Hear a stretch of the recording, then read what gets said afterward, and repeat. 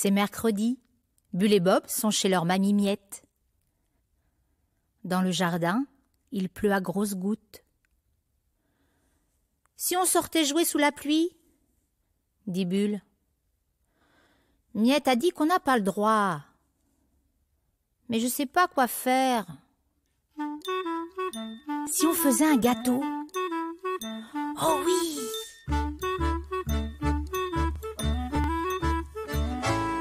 c'est ça. Quelle bonne idée, c'est ça.